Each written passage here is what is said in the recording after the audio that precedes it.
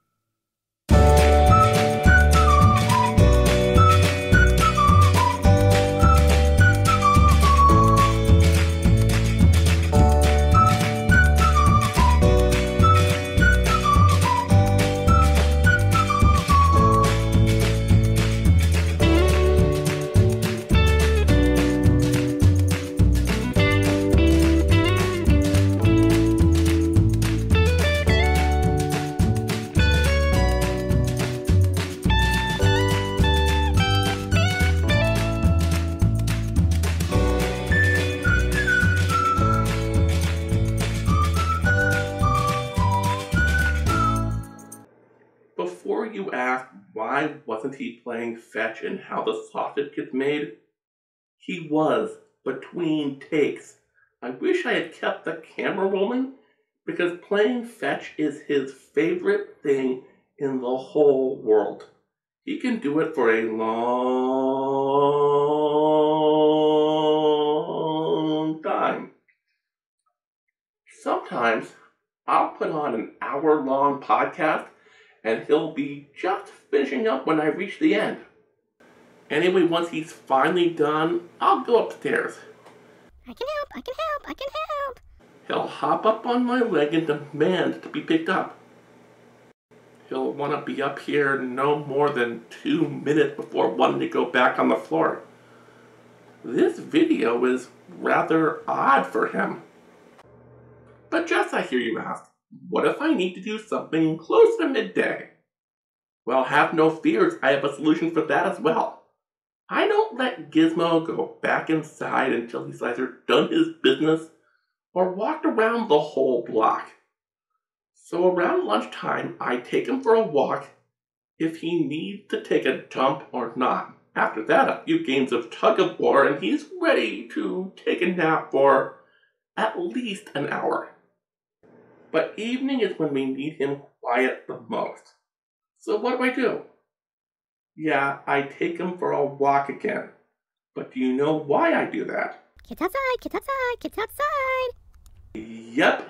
So he not only gets exercise from his walk, but from kids playing with him, which has an interesting side effect.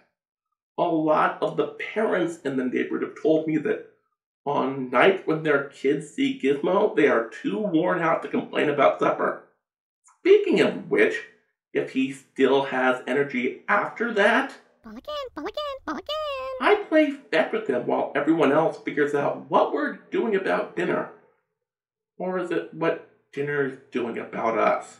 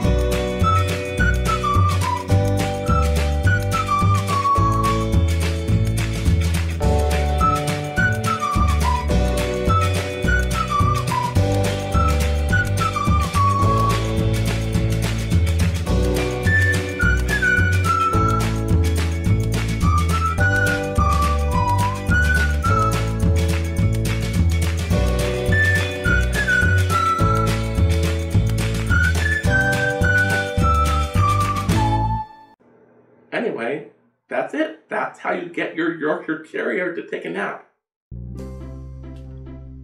If you liked this video, please hit like and subscribe. Leave a comment, and if you want to see this channel grow, visit patreon.com slash parodyerrorfilms and become a patron today.